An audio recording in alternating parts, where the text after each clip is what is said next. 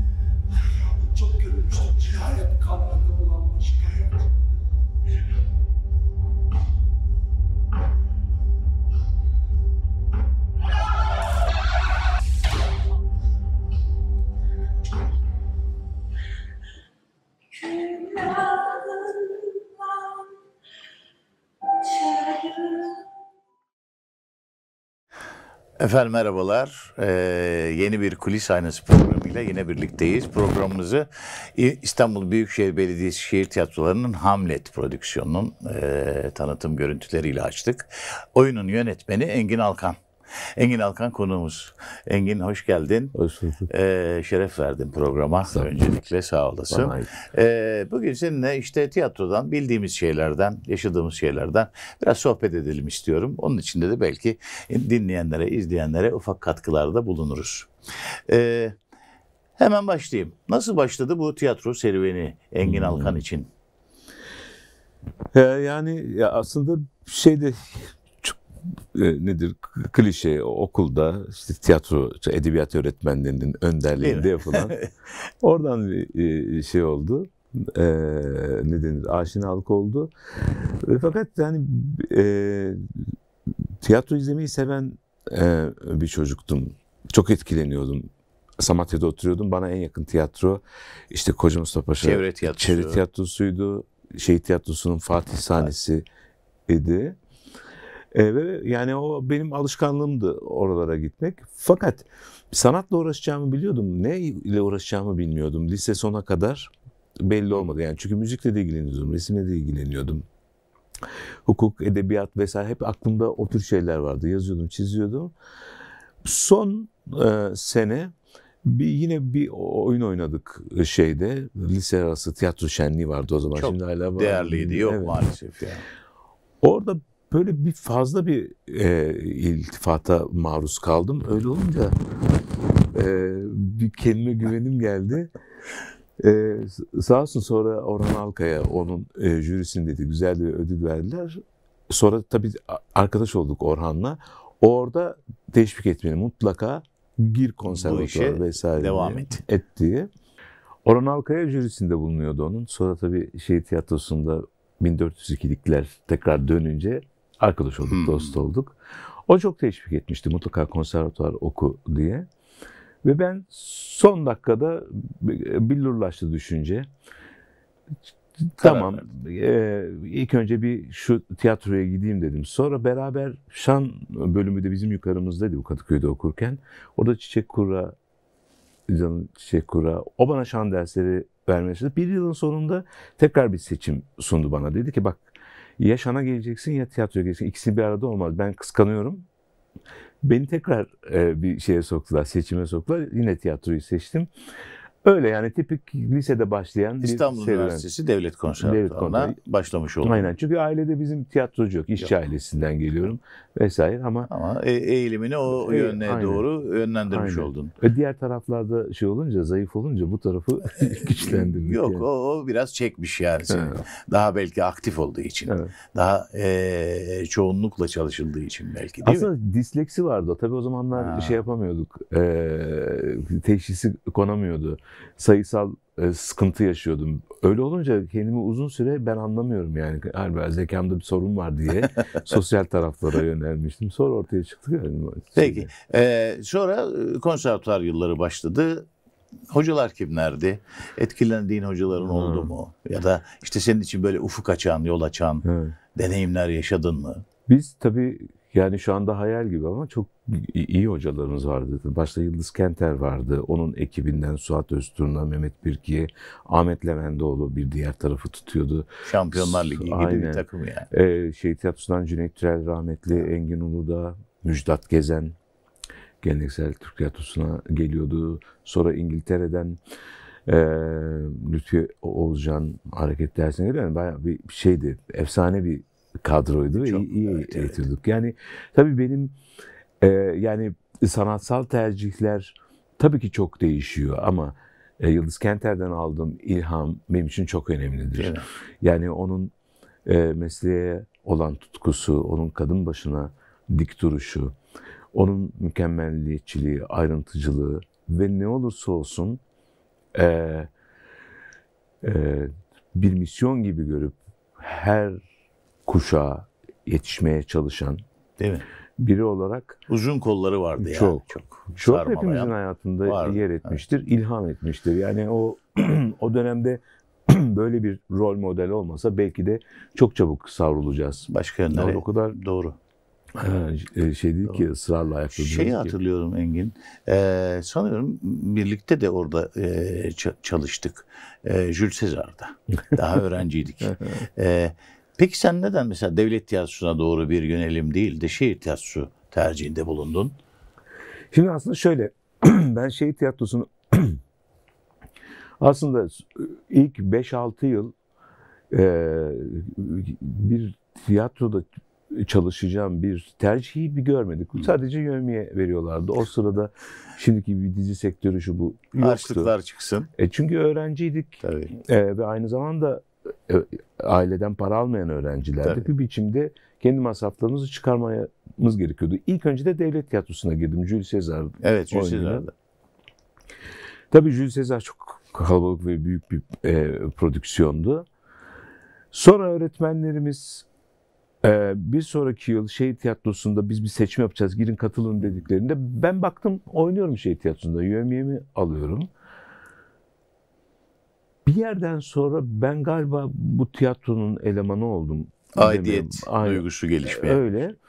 Ama e, her yıl son yılımmış gibi devam ettim çok uzun bir süre. Böyle olunca da biraz hareket alanında kazandım. Hı. Biraz e, nasıl söyleyeyim e, geç teslim oldum. Çeşitlilik yarattı sen. Çünkü yani bu sene buradayım seneye bakarız diye. Oraya geleceğim. O, yani. o senin çok farklı tiyatrolarda farklı deneyimlerin Evet. oldu. Oluyor hala. Evet. Ee, önemli bir kazanım bu genişleme hali tabii. Onu ayrıca konuşalım ayrı bir başlıkla. Ee, ama şunu e, bir, bir tespitte bulunayım. Yani bizim kuşağımız öyle diyeyim.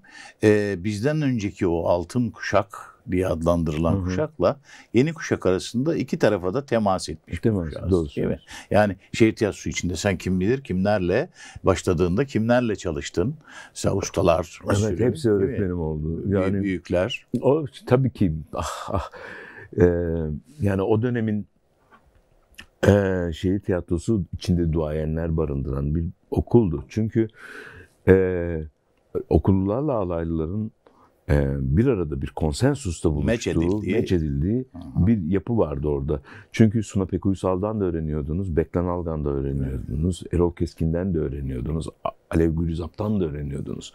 Bunların hepsi e, değişik şeyleri olan, e, geçmişleri olan, değişik sanatsal tercihleri olan, bir yandan o şeyin, o ara dönem Tülat Tiyatrosu'nun devamı olan, o Geleneği taşıyan. geleneği taşıyan, onun bugünkü haline e, ş- e, nedir adapte etmeye çalışan diğer tarafta hem klasikçiler hem de Eugenia Barba gibi bir şeyin e, ustanın devamı niteliğinde yani Muhsin Ertuğrul'un e, şeyi bu e, modernleşme hareketinin devamı olan Ayla Alganlar, Beklen Alganlar, Başar Sabuncular. Başar Sabuncular bunların hepsinin aynı anda üretim verdiği bir yerdeydiniz. Yani nereye bakacağınızı şaşırıyordunuz. Gerçekten yani öyleydi. ben hiç e, yorulmadan sahnedeki yani kendi oynadığım oyundan, provasından çıkmış olan yıllarca oynayan oyunlarda yılmadan izliyordum onları kuliste. Ne İzleyerek öğreniyorduk Aynen, zaten değil mi? aynen. Kenardan takip ederek Aynen. öğreniyorduk.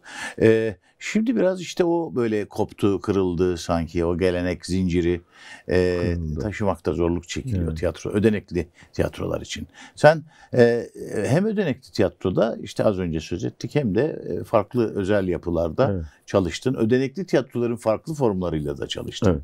Yani şehir tiyatrolarıyla da çalıştın. Diğer şehir tiyatroları. Dolayısıyla da o geniş bir skala, bir yelpazem var. Ee, ne fark var ya da neler değişiyor ya da neler farklılaşıyor başka tiyatro? Mesela ödenekli bir tiyatrodan özel bir tiyatroya geçtiğinde ya da bir ödenekli tiyatrodan diğerine geçtiğinde Hı hı. neleri fark ediyorsun, hissediyorsun? Şimdi tabii buna e, işte benim neredeyse 40 yıla yaklaştı. Yani dönemler de yani ilk 20 yılda başka cevaplar verirdim ya da işte sonraki 30 yılda başka, şimdi başka. Çünkü dinamik bir yapı olduğu için bu 40 yıl öncenin e, ödenekli tiyatrosu da değil şimdiki tiyatro ya da 20 yıl öncesinin alternatif sahneleri de bugünün e, Alternatif değil. alternatifleri değiller.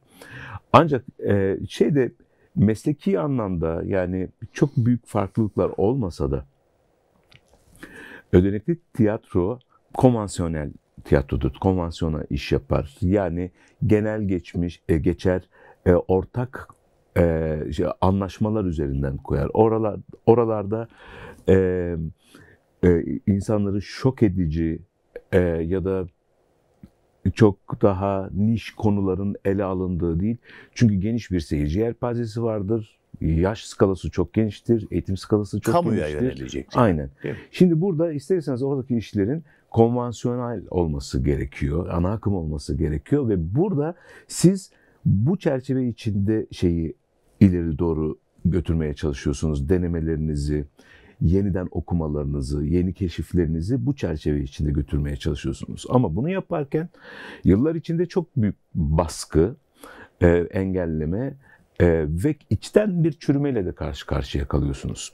Çünkü ödenekli tiyatronun en büyük problemi maaşımızı yani oradaki sanatçıların peşin almasıdır. Bu büyük bir cazibe merkezi haline getirir ve herkes or, orada e, bir biçimde bu konforu yaşamak ister ama aynı zamanda asalak üreten bir yapıda tembelleşir. Hantallaşır. Evet.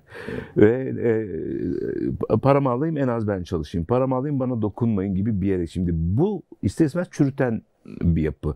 Bunların e, yıllar içinde e, çözüme kavuşması gerekiyordu. Mi? Buradaki sistemlerin bilen ehil kişilerce, liyakatla gelen insanlarca mercek altına alınıp çözüme kavuşturulması gerekiyordu ama öyle olmuyor.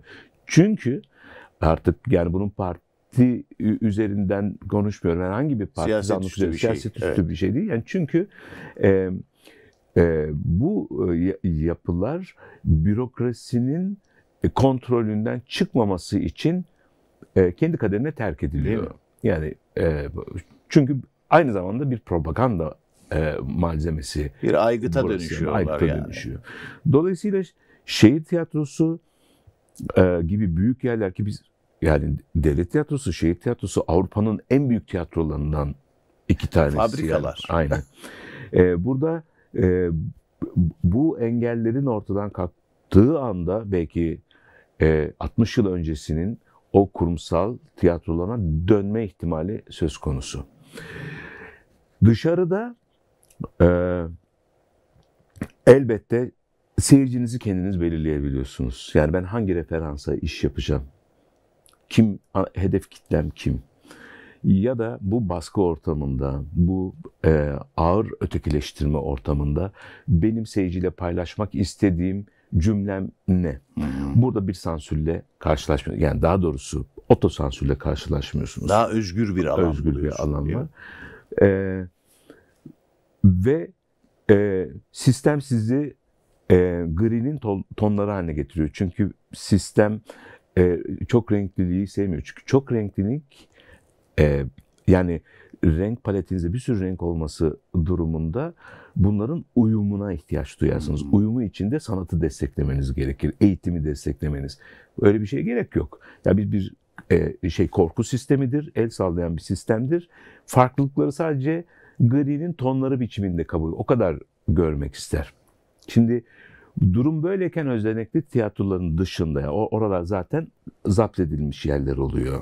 Bir anlamda önü kesilmiş yerler oluyor. Çünkü orada çok fazla parmak sallanıyor.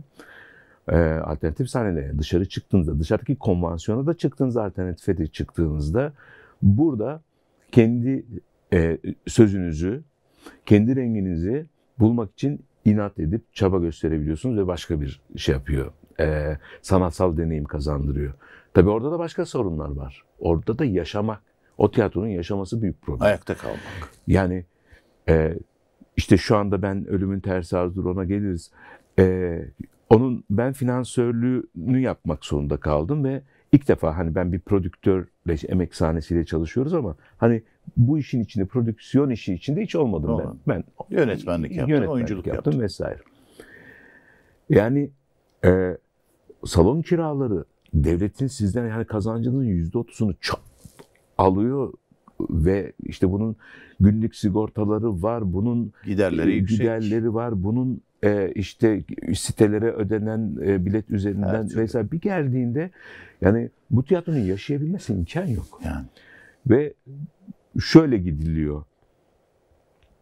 Para kazanmayı e, bir ölçü, parametre haline getirmiyorsan az kaybedeyim yani çok da öldürmesin beni diyorsanız devam edebiliyorsunuz. Ama öbür türlü bir de şimdi e, e, iş e, biz e, e, Kürk Mantolu Madonna'yı yaptığımızda Hı hı. o büyük salonlarda ilk defa bu cesareti gösteren biz bizim zamanımız olmuştu. Çünkü genellikle o büyük salonlara dışarıdan taşıma suyuyla Evet. ithal oyunlar getiriliyordu Popüler falan. işler taşınıyordu doğru. Şimdi öyle bir yere geldi ki e, işin diğer tarafı yani ticari tarafı e, celebrity istiyor. Onu görmek istiyor. O zaman gidiyor o büyük e, bilet parasını yani Ödüyor. parası- yani atıyorum şeyin ödenekli tiyatronun 10 misli bir Çok, parayı çok misli. Evet Çok ödüyor, selebriti görmek istiyor. Ama selebritinin e, dizilerden ve yapımcılardan izin alıp çalışma imkanı yok. Yani e, Yakayı oraya kaptırmış aynen yani vaziyette. 6 hafta, 8 hafta provaya gitmeye Gelemiyor, bir paradoks. gidemiyor. Dolayısıyla birbirinden farklı yapılar. Hepsi e, başka şey öğretiyor ama e, ana şemsiyemiz actingle uğraşmamız, Hı hı. felsefeyle uğraşmamız, e- estetikle uğraşmamız, mesleğimiz ama uygulama sahalar baştan aşağı hem niteliği hem niceliği çok değiştiriyor. Peki şimdi bu ödenekli tiyatrodan e, özel tiyatroya geçiş çok e, güzel tarif ettin. Yani gerekçeyi, e, özgün ve özgür olma gayreti. Yani burada birçok bil- bilgi birikim var ama her şeyi e, kullanma şansı bulamıyoruz zaman zaman.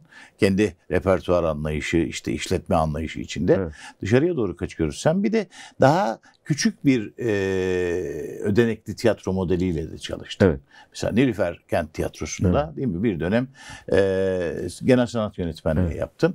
E, aynı mıydı bu büyük e, şehir tiyatrosu modeliyle küçük kent tiyatrosu modeli arasındaki sorun? E, aynıydı. Aynıydı. Maalesef e, önünde sonunda e, bir bürokrasi şeyle karşılaşıyorsunuz, engeliyle karşılaşıyorsunuz. Her ne kadar iyi niyetle yola çıkılsa da e, bir tanım kullanacağım, sanat sevici diyeceğim. Hı hı. O şu demek.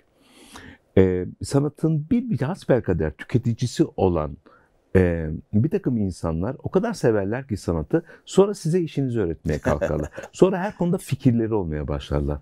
Peki bu fikri olan hevesli insanların elinde bir de yetkisi olursa Eyvah. işte o zaman e, iş karmaşıklaşıyor. Eyvah.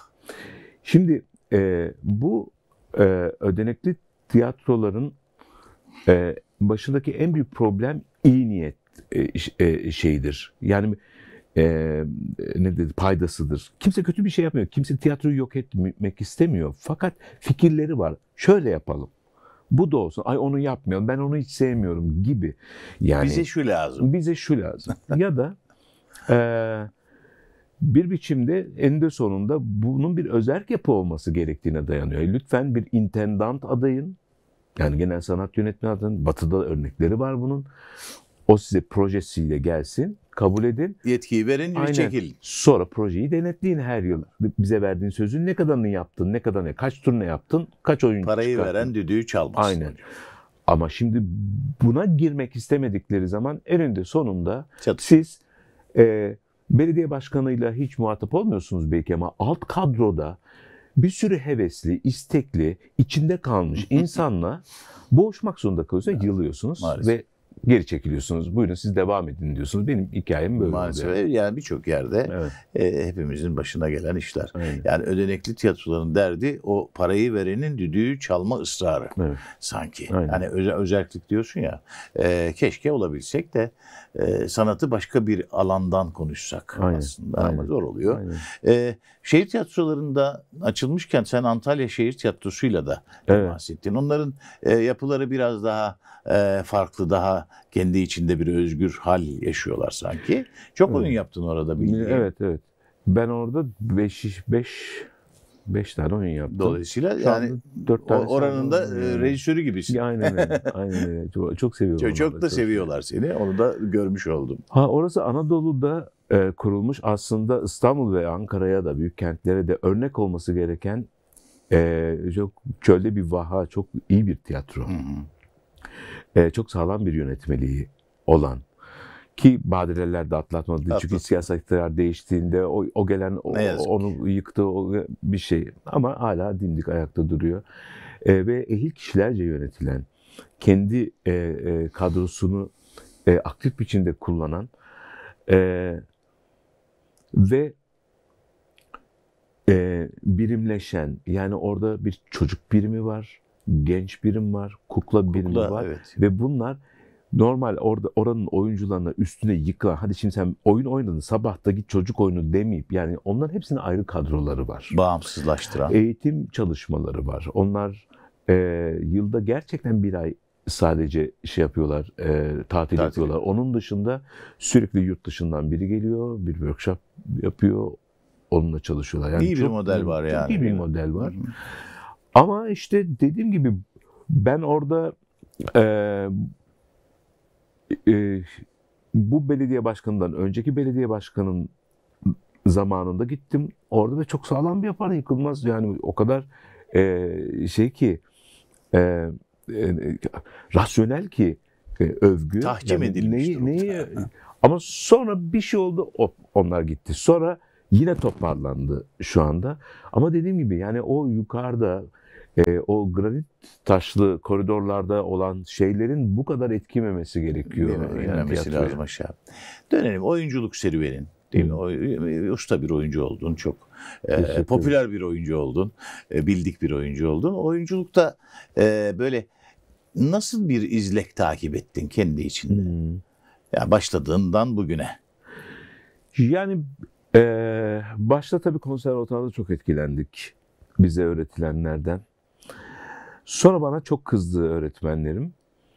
Eee, mezun olduktan 3 ne 3'ü ki 10 yıl sonra bir şeyi fark ettim ki bu burada öğren konservatuvarda öğrendiğim şeyler bana ayak bağlıyor, refleks oluşturuyor. Ve bir gün bir röportajda yani 4 yılda öğrendiğimi 10 yıldır unutmaya çalışıyorum dediğimde öğretmenlerim çok gönül koydu. Ne demek istiyorsun? Hayır. Tam tersi.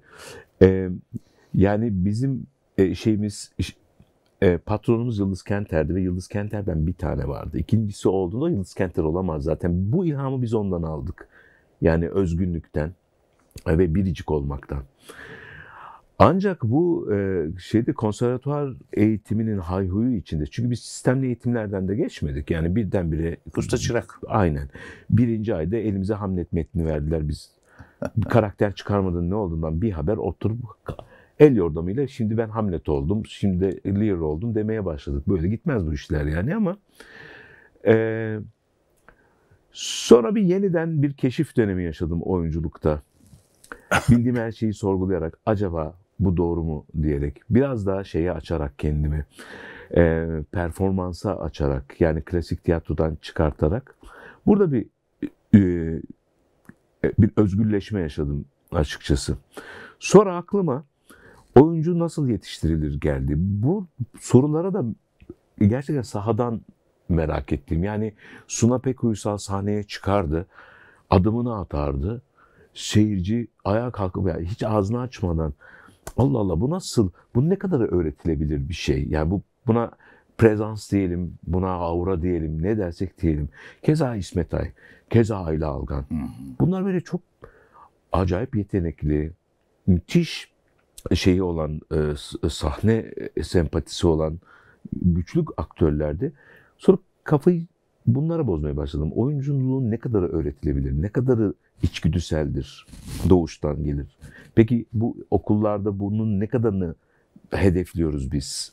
Çünkü hep böyle bir yetenekle alınıyor da sonra insanlar e, e, çok faşizan bir şey dikerse yeteneksizliği olanlar her zaman cici çocuk oluyor. Daha Evet. yetenekli olanlar dövülüyor. Ha- ha- hayatları karartılıyor yani. Ama bu zaten bizim bir şey yaparak elde etmediğimiz bir şeyse diyelim doğanın ya da Tanrı'nın armağanı bir şeyse birbirimizi burada yargılamak doğru değil ki. Değil. Kimseyi kızamayız. Elbette. Sende bendeki yok diye. Neyse buralara merak saldım. Buradan öğretmenliğe geçmeye başladım. Tam onu soracaktım. Yapıyorsun değil mi? Şu Yaptın. anda yaptım, Yani yaptım. Uzun süre eğitmenlik yaptım. Ee, çünkü bunu e, ancak e, tek başıma karar veremeyeceğim bir şey. Yani bunu öğrencilerle karşı karşıya buradan anlayabilirim diye bir sistem geliştirmeye çalıştım. O zaman rahmetli Savaş Dinçel MSM'de öğretmenlik yapıyordu. Beraber de Godoy'u beklerken oynuyorduk. Ee, Savaş abi dedim ben senin derslerine bir gözlemci olarak girebilir miyim? Oğlum sen dedi master yapmadım. Değil değil başka bir şey var kafamda. Ben bir senin derslerine girmek istiyorum dedim. Çünkü yerinde düşünmem gerekiyor, not almam gerekiyor. Tamam gel dedi. Dört hafta sonra bana bıraktı dersi. Bırak- Sıkılmış oldu hadi sen yap diye. Birdenbire kendimi öğretmen olarak buldum ben. Ve orada eee, bir sistem geliştirirken baktım ben yönetmenlik yapmaya başladım ya. Sonra da yönetmenliğe Tam geçtim. istediğim yere geldin. Evet. E, ilk reji teması, ilk reji nasıl buluştun? Ee, aslında küçük küçük denemelerim vardı. Yani kendi oynadığım e, oyunların rejisini daha şeyken e, nedir konservatuvar yıllarında. Hevesin var mıydı? Yani Hiç yoktu müydün? biliyor musun? Ha. Hiç yoktu. Tam tersi öbür tarafta Oyuncu. zannederdim ben kendimi. Sonra yine bir e, şey üzerinden değil, bir meslek ya da bir alana sahip olmak üzerinden değil, Küskün Kahveti, Carson McCullough'ın bir e, şeyini, noveletini, uzun hikayesi ya da kısa romanını e, projeye çok inandığım için bunu bir rock barda, o zaman Mandala diye kemancının altında bir rock bar vardı. Orada bütün o İtalyan sahnenin vesaire o kuralları ortadan Yıkarak. kaldırarak bir denemeye giriştik. Ve çok ses getirdi oyun. Ödüller falan getirdi. Ben ilk defa rejisör olarak orada bir e, deneyim e, kazandım. Ama hala bir bu bir alan olarak seçmem gereken bir yer olarak durmuyordu. Fakat ilgilendim meseleyle. Sonra diğerleri de geldi. Ben 5-6 proje sonra artık ayırmaya başladım. Ya ben oyunculuktan bu kadar keyif almıyorum galiba. Yani ben bu tarafa bir gideyim Yö- diye. Yönetmen Engin e, oluşmaya Aynen, başladı aynen. yani. Sonra da zaten öyle oldu. Yani oyunculuk daha e, şeyde resesif bir yerde kaldı hayatımda. Yönetmenlik daha çok kendimi tanımladığım Peki. bir yer oldu. E, şunu söyleyeceğim. Şu anda şöyle bir e, algımız var. Engin Alkan rejisi. E, bö- böyle bir tanımlama Evet. var e, camiada. Engin Alkan rejisinin kodları neler dostum? Evet. Şimdi aslında e, birkaç şey var ama dışarıdan yani buzdağının en görünen tarafı benim halk tiyatrosu geleneği üstünden yaptığım 3-4 tane yani dönemde başyapıt gibi algılanan hı. işler var. Bunlardan bir tanesi e, İstanbul Efendisi, bir tanesi Şahşi Şark dişçisi. Şark dişçisidir. E, Huysuz diye Molière'in oyunlarından yaptığım bir Adaptasyon. şeydir. E, Tarla Kuşu Juliet bir anlamda her ne kadar Verona'da geçiyor gibi olsa da ama çok yerli malzemeyi kullanır. İşte şekerpare ve- vesaire. Şimdi bu bu oyunlardaki temel özellik e, geleneksel yerli malzemeyi el yordamıyla değil bilinçle estetize etmek ve burada geniş halk kitlerine dokunabilmenin yolunu keşfetmekti. Çünkü karşımızda 30 yıl oynayan bir lüküs hayat vardı. Şehir tiyatrosunun medarı iftiharı, Zihni Göktay, e, Suna Pek Suna Uysal, Pek Uysal ve dev kadro öyle diyeyim. Aynen. müthiş. Bu e, 30 yıla yakın gösterimde kaldı ve hala da devam ederdi. Sonra yönetimler değişti vesaire. Ama herkes utanç içindeydi o oyunu oynarken. E, yönetmeni Haldun Dormen dahil. Bu benim oyun değil şeker, şekerim diyordu. Çünkü Haldun başlarken oraya bir buçuk saatlik bir oyun tasarlamış. Sonra dört buçuk saate uzayan bir tulaat yani anında orada olan bir e, doğaçlamalarla giden Genleşen bir oyun. Aynen. Evet. Ve bu sürekli e, güncellenen yani iki yıl önce seyrettiğiniz Lüküs Hayat'la gündem değişmişse iki yıl sonra ama bu Hatta iki akşam sonra da başka bir Aynen. yükselat görebilirsin. fakat bu oyuncular için problem oyunun kaçta biteceklerini bilmiyor öbürü özür diliyor herkes yaptığı şeyin e, geleneksel anlamda klasik anlamda tiyatronun kurallarına aykırı olduğunu biliyor biraz utanarak biraz sıkılarak ama öte yandan överek de yapılan Keyif işin alarak da. keyif de alarak bir şey yapılıyor. Orada el yordamıyla yapılan şey aslında 70'li yılların Arzu filminin yani bu bizim bildiğimiz o işte e, e, turşucularda Bizim Aile. bizim aile vesaire onlarla aynı kanalda aynı damardan besleniyordu. Bu da aslında Batı tiyatrosuyla bizim geleneksel tiyatromuzun meçleştiğinde çok bir ara dönem var. Tuluat dediğimiz, açık biçim dediğimiz. Aynı konularımız var ama ez, ezberleyecek vakit yok. Sen bana şeyi söyle, konuyu söyle ben mealen yaparım onu diye başlayan bir süreç var. Buna seyirci bayılıyor. Bizim seyircimiz, konvansiyondan bahsediyorum. Suna Pek Uysal'ı sahnede bir rolü oynarken Suna Pek olarak görmek istiyor. Ya da Adile Naşit'i kendinden değişik başka bir şey olarak seyrettiğinde samimi bulmuyor. Adile Naşit başka o roller oynasın. Yani birinin adı Ayşe olsun, birisi olsun ama o aynı kakırdamayı görsün. Yani bu tiyatronun geleneğinde bu var. Yani şeyi kaldırıyor ortadan. Oyuncunun profesyonunu kaldırıyor. Diyor ki sen kendi kimliğinle, şimdi bu hikayeyi anlat ama kendi kimliğinle benimle ilişki kur diyor. Çok acayip. Bunları bilinçle ele aldık. Ve dördüncü duvarı tamamen Kaldırdık. kaldırdık ortadan ve işin burada oynananın bir oyun olduğu ve az olan oyuncuların performansı olduğu. Biz oyuncuları saklamadık. Oyuncu kendisi olarak var. Sen de bir şey gülüyorsa da gülüyor. E, canı sıkılmış söyleniyorsa da söyleniyor. Ve bu oyun e, fikrini canlı tutabilmek için de groteske yöneldik. Yani hiç gündelik bir şey kullanmadık. Makyaj Yapıyı öyle, bozduk öyle oldu. diyorsun, Saçımız böyle oldu. Gerçeklik Baştan söyledik. böyle oldu. Burada Aynen. olağan bir şey yok. Aynen. Şimdi bu e, tabii ister istemez bu oyunları bir e, bir üslup birliği e, yarattı. Dil. Dil, bil, evet. Ve bunlar tabii büyük kitlelerle e, şey yaptı, e, temas etti. Sonrasında e, yani bir dramatik oyunu sahnelerken de benzer şeyi yani oyuncu üzerinden kur- kuruyorum benzer e, bir gerçeklik algısı yaratıyorum. Ama burada da söyleyebileceğim ben metin odaklı çalışıyorum. Ama metin tiyatrosu yapmıyorum. Metnin benim tiyatromda diğer bütün yaratıcı unsurlar gibi bir unsur ve çok önemli. Ama ne oyuncu, ne yönetmen, ne tasarımcı bizim işimiz yazarı, dünyasını sahneye taşımak değil. O bir unsur. Çünkü oyun dediğimiz şey yazılan şey değilse o an o akşam sahnede olan şey. Ve hepimiz bunun bir unsuruyuz. Ve yatay hiyerarşi içinde kimse kimseden daha önemli değil. Ben yönetmen olarak oyuncudan daha önemli değilim. Benim bir alanım var, oyuncunun bir alanı var, yazarın bir alanı var, tasarımcının bir alanı var. Dikey hiyerarşiyi reddedip yatay hiyerarşi üzerinde zaten bu parçaları birbiriyle eşit sorumlulukta ama tabii ki ayrı kulvarlarda çalıştırabilmek mümkün. Ee, böyle olunca e, ister istemez ben parantez içleriyle hiç ilgilenmeyen Değil bir rejisör oldum. Yani.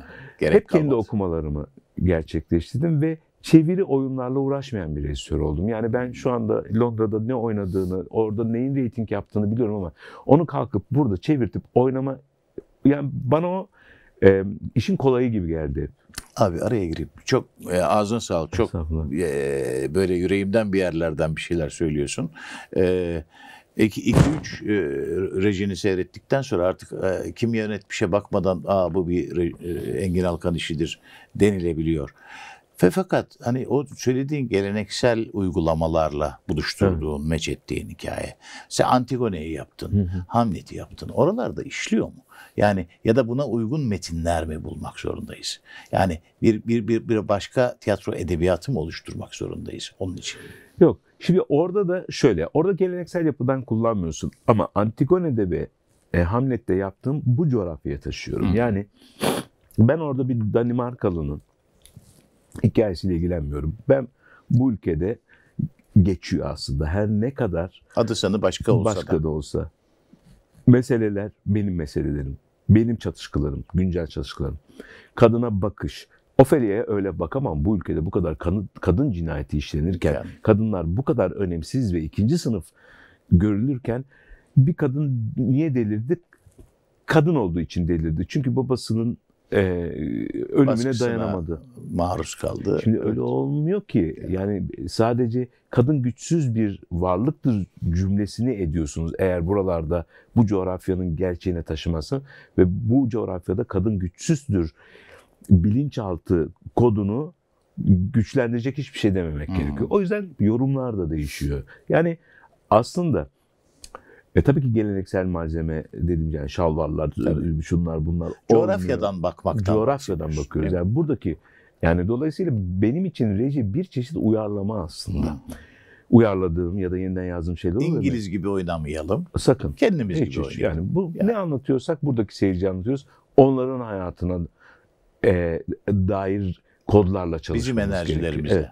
Yani. Ke- Keza Antigone'de öyledir. Keza şey, Hamlet'te öyledir. Çok. E, kimi zaman e, bu sorun da çıkartıyor Murat. Yani bu kadar insanlar e, meslekte taklattırıyor diyorlar. Yani çok taklattırıyor Engin metinleri. Çatışıyorsun. Evet. Evet. Kimileri bundan hoşlanmıyor. Oyuncuyu ikna etmekte de güçlük yaşıyorsun Aynen. zaman zaman. Aynen. O onlar gibi olmaya çalışıyor. Yani henüz o şeye e, bilince Aynen. ulaşmamışsa. Hani defansı varsa oyuncunun ama yani o evet. Ka- kaçınılmaz ama ya ben- bence e, Türk tiyatrosu için önemli bir e, şey referans oluşturuyorsun yani o noktada. Teşekkür. Biz teşekkür ederiz o noktada. E şimdi biraz e, popülerleşelim. biraz şey de dağılsın. E, seslendirmede de muhteşem bir e, ne, ne seslendirmen diyorlar hocam şimdi. Seslendirmen. Öyle adlandırıyorlar. Seslendirme sanatçısı değil Evet. mi? Evet, yani dublaj yaptın Evet. yıllarca. Çok önemli e, karakterleri seslendirdin. Evet. Şirinler var mesela. Şirinler var. Herkesin anımsayacağı. E, başka neler var?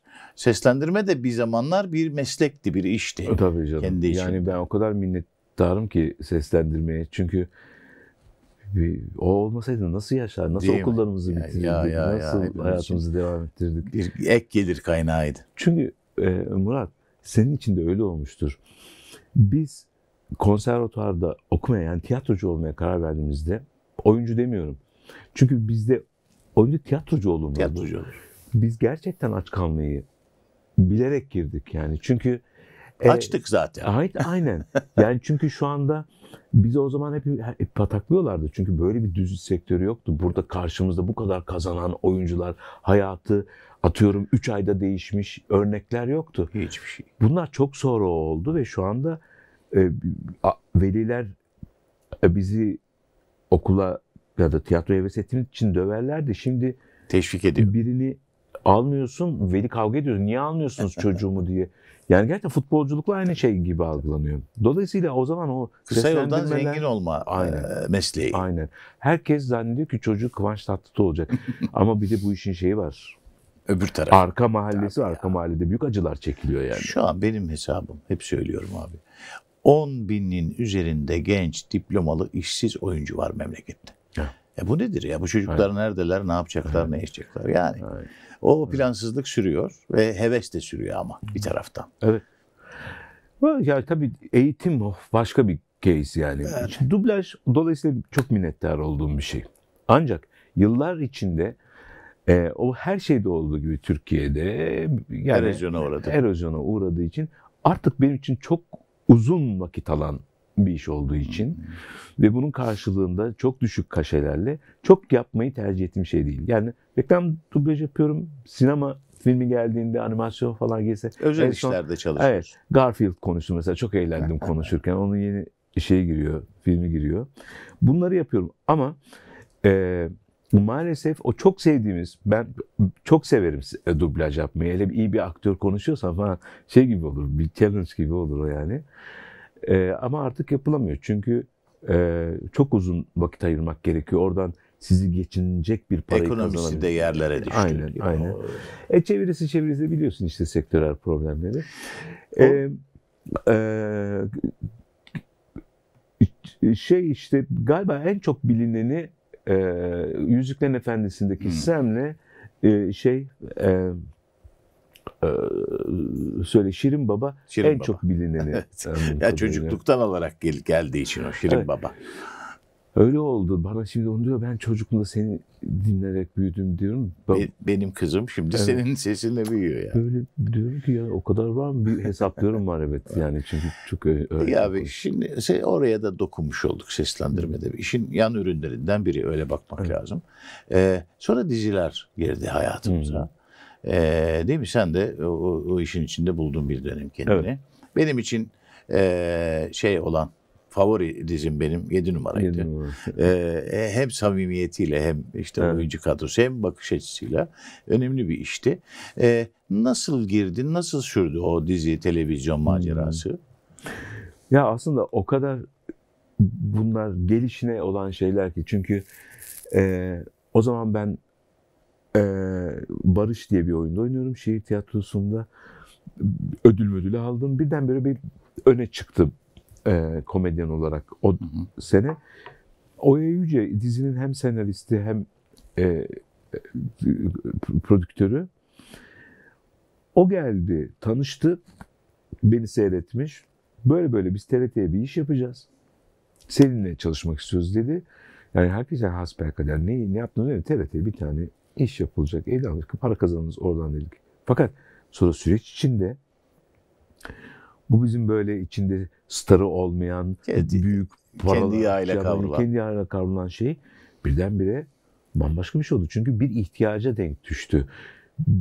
E, absürt komedi yapıyorduk ama Türkiye'de e, hatta bu coğrafyada daha geniş Akdeniz coğrafyasında bir araya gelmez unsurlar, çatışkılar, köylü, kentli, e, e, e, şey, e, kadın, erkek, e, işte okumuş, e, okumamış yani gibi e, işte Laz, Kürt, İç Anadolu, İstanbullu. Bütün gibi. katmanlar. Şimdi bütün katmanlar bir araya gelmeyen bu bilinçaltı şeyler, uçlar, birbiriyle kavga eden uçlar, birbirini öteleyen uçlar bir evin içinde yaşamak zorunda olduğunda bir deneyim oluşturmaya başladı. Bir konsensus oluşturdular ve bu rüya hoşuna gitti.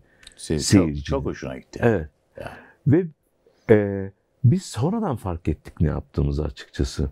Sonradan sonradan hani izleyicinin e, iltifatına maruz kalınca önemsemeye başladık şeyimizi. Hı hı. Hani dur ya biz bir yerde duruyoruz. Çünkü biz aslında genel geçer kurallar içinde başa güreşen bir dizi değiliz.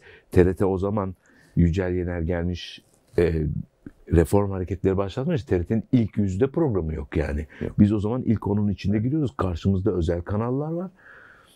E, ve e, o zaman üstüne düşünmeye başladık. Ne oluyoruz abi bizim starımız yok, bir şeyimiz yok, magazin desteğimiz yok, bir arkada tabloid gazetemiz yok, her gün bizi televizyon ekinde hiçbir şey yok yani. Ama yıllar yılı devam eden, kuşaktan kuşağa şey, sosyal medyada seyredilen bir kült dizi haline geldi. Mi? Onun üzerine sonradan düşündük. Başta bir şey hedeflemedik Ama yani. işte öyle oluyor zaten. Öyle oluyor, Yani o bir, bir- bütün şeyler, parametreler bir araya gelince, Evet. e, buluşu verince o farklı bir şey oluyor. Hala da seyrediliyor bence. Şimdi orada bir şey var benim. Ben seyrederken e, böyle zaman zaman Allah'ım Allah'ım seyredemiyorum şeyi. E, dönemin TRT'si oradaki bizim abartılı teatral halimizi işi onun tutturduğunu zannediyordu. Ve bize sürekli köpürtün diye şey geliyordu, baskı geliyordu. Daha ne gibi deli gibi oynuyoruz yani anlatabiliyor muyum? Yani hayır daha da köpürtün. Orada onlar da farkında. Zannediyorlar ki biz öyle hani çok büyük oynadığımız Delirince zaman. oluyor. Hiç öyle değil. Onunla alakası yoktu yani. Başka dertli vardı o şeyin. Onun için bazen baktığımda hepimizi çok büyük oynuyoruz yani. Çok teatraliz. Keşke yapmasaydık diyorum ama. E, Yok yaptık ama yani. o da başka bir, bir biçim, biçem oluşturdu ya Evet. öyle diyelim yani. Evet. Sonra onun e, taklitleri çok oldu ama aynı etkiyi Oldu. yaratmadılar. Evet, işte. Yaratmadılar. Şu an devam ediyor mu o, o dizi vesaire işler? Arada yapıyorum fakat şimdi eskisi gibi olmuyor. Ee, biz eskiden tiyatroyla şeyi diziyi bir arada Birlikte götürebilirdik. Saygı gösterirlerdi. Şimdi ilk lafı yapımcının, kanalın tiyatrosu var mı? Varsa Oyun var mı? Varsa Evet. görüşmeyelim. e, dolayısıyla şimdi sizin sete ayırabildiğiniz vakit kadar da kaşeniz oluyor. Ben bana üç günü aşmayacak bir rol verin dediğinde ister istemez Şu kadar da şu- para alırsınız. Şu, diyor. şu şeye giriyor. Ona da peki diyorsun. Peki tamam ama ne olur beni bu sefer ona garanti veremem. Belli olmaz o iş. Yani seni 5 günde yazabiliriz, 6 günde yazabiliriz. Böyle olunca senden doğrudan istediği tiyatroculara ihtiyaç duyuyor sektör. Ama tiyatrocuların tiyatrolarını bırakmalarını istiyor beraber çalışabilmemiz için. Dolayısıyla bu biraz zor aşılabilir bir Çok, çok problem sıkıntılı bir süreç. sıkıntılı bir süreç. Dolayısıyla çok eee, o noktada cazibeli tiyatrom olduğu için, yönetmenlik yaptığım için, oyunlarım olduğu için çok cazibeli bir oyuncu olmuyorum bir sürü yapımcı için. Ya e, şöyle bir e, üstünlük sağlıyorlar tabii. Ekonomik anlamda diziler e, oyunculara daha fazla kaynak sunduğu için Evet. e, bir grup oyuncu arkadaşımız zaman zaman yani tiyatroyu bir kenara koyup diziye e, biat etmek gibi bir mecburiyetin içinde kalıyorlar öyle diyelim. E, yapımcılar da bunu kullanıyor ama bu çok uzun vadeli, uzun soluklu gidermiş gibi gelmiyor bana. Tabii. Yani burada e, diziler de kendi formatlarını bir gözden geçirmek zorundalar. Hı. Yani nasıl Batı'da adam 13 bölüm paket çekiyor. Belli bir yaz dönemi çekiyor, tatil dönemi çekiyor, hazır ediyor, kullanıyorsa. Hani bizimki gibi böyle işte çarşamba günü diziyi bitir, perşembe yayına sok mantığında elbette yürümüyor. Şimdi zaten o kontrolü kaybetmek istemediği için bu kadar burası çarşamba pazarına dönüyor. Yani senaryon belli olsun. Senin zaten bir genel hikayen Evet. var. Ve o zaman sen hazır bitmiş bir senaryoyla girdiğinde çünkü dünyada da böyle oluyor. Haftalık ne haftalığı? Günlük. Sabah yazıyorlar, geliyorlar oynuyorsun Oynuyor, yani. tabii. Çünkü orada da işte 15 dakikalıkları kaçırıyor. Bakalım nerede reyting var. Buna döndürdüğü için sürekli bir müdahale var. Yapımcıdan müdahale var, kanaldan müdahale var, yönetmenden müdahale var vesaire vesaire. Dolayısıyla hiçbir taahhüt altına girmek istemiyor. Çünkü ne yazacağımı bilmiyorum. Bilmiyor. Duruma göre sen bana ayıracaksın. Ben sana gecenin ikisinde telefon açıp sabah 7'de set dediğinde ge- gelmek zorundasın. Gelemezsen tayini çıkıyor ya da ölüyorsun. Aynen. Ama dünyada böyle gitmiyor ki bu işler. Yani ne çekeceğiniz Gidemez zaten. yani. Bu kadar programsız olamayız. Aynen. E, dolayısıyla sen de ne kadar senden vakit istendiğini yani daha doğrusu yapımcı ben senden haftada iki gününü alacağım. Beşinci bölümde yedi gününü alacağım. Ama üçüncü bölümde bu kadar. Şimdi yazılı senaryo üstünden her şeyi programlamak çok kolay. O zaman birbirimize düşmeyeceğiz. Tabii ki. Ama ister istemez buradaki şeyde e, ki herkes burada böyle şey gibi saksı gibi duracağız. Sırası gelene geldi. Bekleyeceğiz. Gerçekten bunu istiyorlar Öyle, yani. İşin Elimin altında dursun. Aynen Tabii, işin tabii. içinden çıkılamıyor Çünkü yani. çok büyük bir çatışma doğuruyor, doğuracak ama işte ekonomik gücü kullanarak şimdilik onu bertaraf ediyorlar ama üç gün Evet. sonra ne olacak bilmiyorum. Evet. Ee, sinema Sinema. ah. Yıllar yıl ben sinemayı hep benim şeylerime e, genellikle bizde Temmuz, Ağustos, Eylül ayıdır sinema film işleri. e, film işleri. Benim de hep genellikle provada olduğum zaman da ya oyuncu olarak ya yönetmen olarak çok istediğim bir yerde durmadım. Ama nihayet e, şeyi kırdık şeytanın bacağını. E, Yakamoz diye bir mübadele hikayesini anlatan bir film çektik. Yeni daha girmedi vizyona. girecek. Gelbir'de çektik Sırada. şeyde Konya Karaman tarafında. Ee, bu e, şeyde yüzyılın başındaki e, iki mübadil ailenin e, trajikomik hikayesini anlatan güzel bir film oldu. Ee, Ali Kerem Gürmen çekti. Bakın ben de heyecanla bekliyorum ama çok özlüyorum. Çünkü benim birkaç tane sinema filmim var. Bayılıyorum sinemaya. Ee, yani onun işleyişine bayılıyorum. O, o, o- onun içinde olmak ve sonra Sinemanın yeri ayrı. Aynen çok ayrı.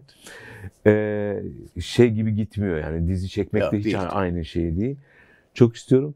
İnşallah biraz daha hayatımda yer vermek istiyorum şey yani sinemaya.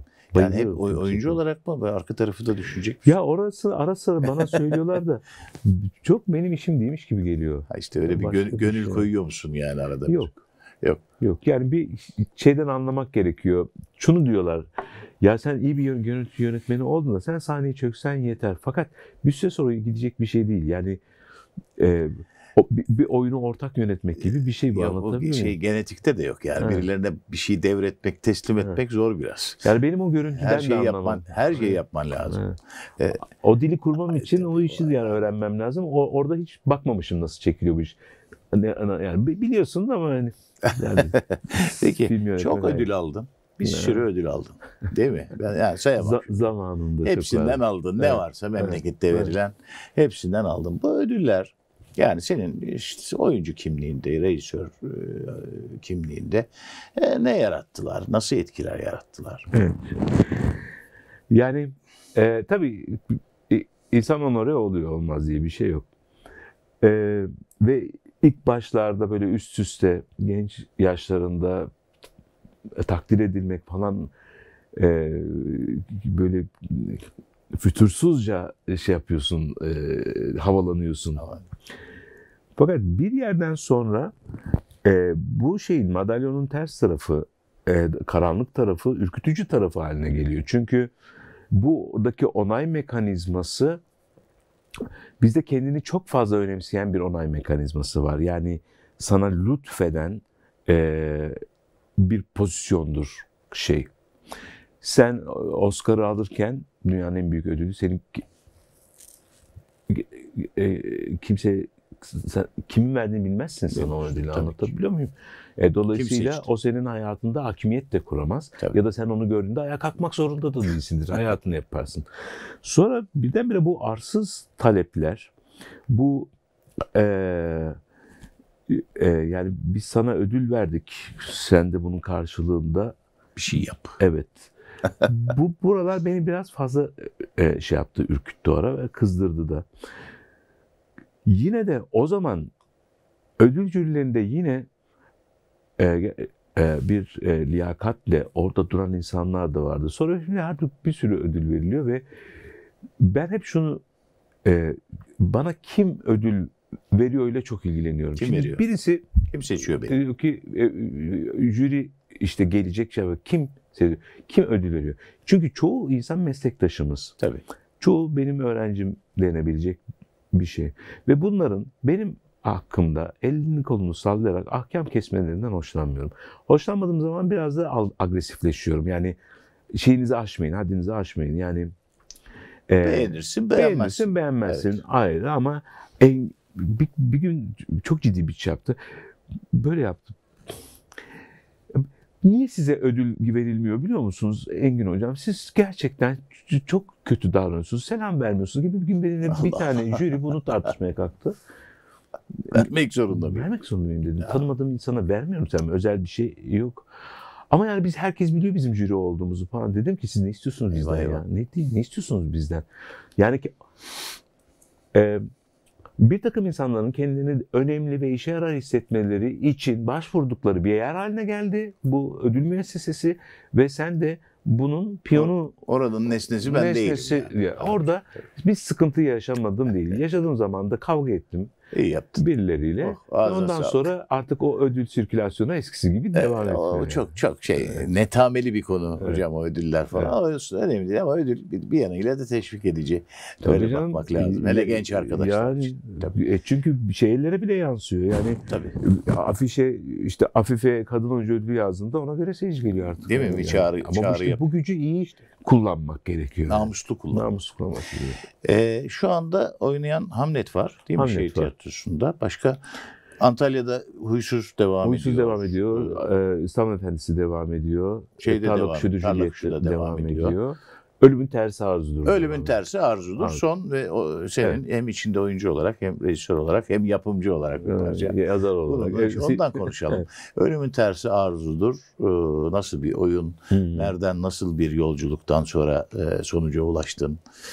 Ya bu e, Tennessee Williams'ın Arzu Tramvayı ya da işte İhtiras Tramvayı diye çok bilinen, Türkiye'de de çok oynanmış hatta çok e, devasa kadrolarla oynanmış bir oyunu 40'lı yıllarda yazılmış Amerika'da.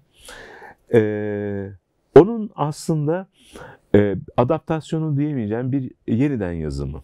Çünkü adaptasyondan çok daha ileri e, gitti mesele. Temel hikaye aynı. Yani bir kardeş e, bir eve gelir ve onlar da e, e, o e, birbirlerini ötekileştirerek bir yaşam kurmaya çalışırlar. Zamanında İkinci Dünya Savaşı'ndan sonra bir kadın meselesi üzerinden kalem almış Tennessee Williams tarafından hikaye. O bir tutucu bir güney e, e, şeyde New Orleans'a gider. Orada bir e, öteki sayılı bir Polak vardır. Göçmen işçidir. O eniştesidir. Onunla kendi kadın kimliği, cinselliği ve ahlaki kurallar üzerinden bir çatışma anlatır e, Arzu Tramvayı. Ben bu e, oyunu aldığımda bu ülkenin, e, bu coğrafyanın e, gerçekliğine nasıl oturtabilirim diye bakmaya başladım. Çünkü e, gün e, geçtikçe daha büyük bir volümle polarize olan, birbirini öteleyen e, ve e, faşizmin şey yaptığı her alanda sadece Yoğunlaştı. ideolojik fa- faşizm e- ilişkilerdeki en küçük ayrıntıda bile faşizmin artık dikkat çekmediği, gündelikleştiği bir toplumsal yaşantı içindeyiz. Tarihsel bağlamımızı ayrı değerlendiriyorum. Öte yandan e, bugün insanlar cinsiyet yöneliminden, aidiyetlerinden, etnik kimliklerinden, sınıfsal özelliklerinden, ideolojilerinden, inançlarından dolayı bu ülkede sürekli ötekileştiriliyor ve bunlar artık herkes bir diğerine kapıyı gösteriyor. Burası bana ait. Git diyor yani. Herkes birbirini ülkeden kovuyor. Evet. Şimdi bu şey içinde e, bunu anlatan bir e, metinle uğraşmak istiyordum ve aklıma e, Arzu Tramvayı çünkü içlerinde bu uçları barındıran bir oyundur. Çok Amerikandır. Çok e, işte yakın e, klasiktir. E, burada bunu bir çeşit ilk önce reji olarak yani ben bu bir küçük reji adaptasyonuyla bu meselelere girebilir miyimden yola çıktım. Sonra bu galiba ben bunu adapte etmem gerekecek ciddi ciddi. İzin alabilir miyiz acaba falan filan. Sonra işin içine Kreuzberg gitti. Kreuzberg'de geçiyor. Orada üçüncü nesil Almanlarla giriyor. Bir queer LGBT abi var. E, o Suadiye'de bir konakta yaşıyor. Öbürleri Anadolu'nun biri Süryani. Çok da spoiler biri vermeden. Evet. Ve bu ötekileşme hikayesini, bu e, şeyi, uzlaşmaz e, uçları bir Macbeth provasının ortasına yerleştirdim. Foucault felsefesi üzerinden Macbeth çalışıyorlar. Hepsi tiyatrocu. Almanya'da ana dilinde tiyatro yapan fonları kullanarak orada bir küçük tiyatro grupları var. İktidar kavramını, er kavramını, ötekileştirme kavramını Foucault felsefe üzeri- üzerinden ezberlenmiş bilgiler olarak tartışıyorlar.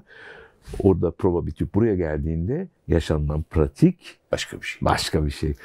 O yüzden bu bir yeniden yazım oldu. Çok tatlı bir oyun oldu. Ben Halen devam ediyor. Devam ediyor. Oynayacak sezon Evet. sonuna kadar. Bayağı da ilgi de çekiyor. Ee, umarım bundan sonra bizim de katkımız olsun bir parça. İnşallah. Ee, daha daha çok. Ya ne tatlı sohbet oldu. Ben seni konuşurum. onu ya. Yo, ben konuşmuyorum zaten. Ee, asıl olan konunun konuşması Evet. çok birikmiş çok şey var tabii. Belki bir daha yaparız, bir daha buluşuruz. Tabii. Daha derine ineriz yani. Ee, çok teşekkür ederim. Ben Ağzına, teşekkür ederim. yüreğine, eline için. sağlık. Ben de çok keyif aldım. Aklına sağlık efendim. Ee, sayın seyirciler, dinleyiciler e, bir e, kulis aynası programının daha sonuna geldik. Konuğumuz Engin Alkan'dı. Kendisine çok teşekkür ediyorum tekrar. Haftaya buluşmak üzere. Hoşçakalın.